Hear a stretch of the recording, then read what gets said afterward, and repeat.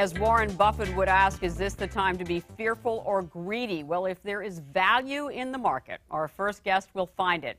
He is a student of Warren Buffett's, a third generation value investor whose Davis funds own a large chunk of Berkshire Hathaway stock. He is also appearing exclusively on Wealth Track. He is Christopher Davis. He is co manager of several highly rated funds, including Selected American Shares. And Chris was Morningstar's Domestic Equity Fund Manager of the Year in 2005. And our next guest is one of the country's foremost experts on high yield bonds, otherwise known as junk bonds. Institutional investor has called Martin Fridson the dean of the high yield market. Marty is the CEO of his own independent research firm, Fridson Vision, where he publishes the weekly newsletter Leverage World. And from the world of high yield bonds to high oil prices, energy has been the place to be for several years now. Our next guest has been in the thick of it for a lot longer than that. Barron's Magazine calls Charles Maxwell the Dean of Energy Analysts for a reason. He has been ranked the number one analyst on Wall Street for many years and is now a senior analyst at Weeden and Company. It's great to have you all here. Chris, your perspective on what's going on in the markets as a value investor. Well, there is an enormous amount of fear and uncertainty. And the goal of an investor is to try to be realistic.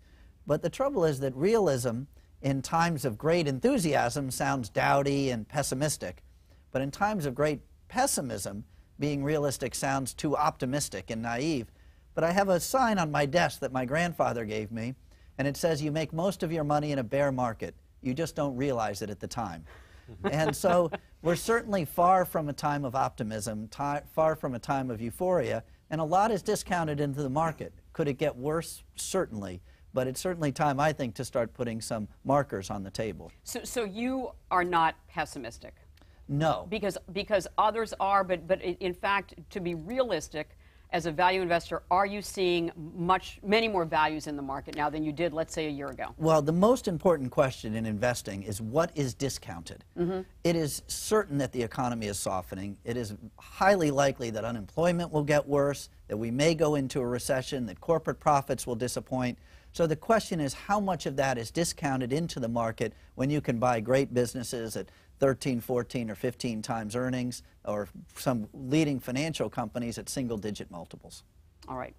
That's the question from, for, for the stock market and probably for the high yield market as well. So, so, Marty, the same question to you. What's your perspective on what's going on in the markets right now?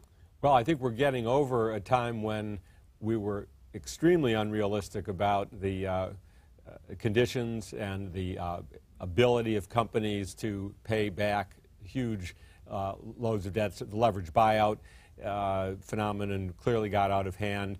Uh, the uh, golden era of high yield uh, of uh, leverage of private equity mm -hmm. proclaimed in April of last year ended about two months later, and we're having the hangover from that era right now. So, so, so you wrote a report recently about about recession possibilities. So, do you think that I mean is is the junk bond market discounting the the probabilities of recession that Chris was talking about? I think that's the signal that we're getting right now because if you look at the uh, extent to which risk premiums have increased in our market relative to the still bottom of the cycle level of default rates, the market is clearly anticipating worsening of some kind.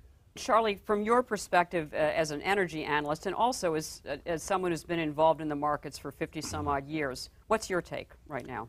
Well, certainly the history shows us that the drop in the stock market usually is mostly over by the time the recession hits.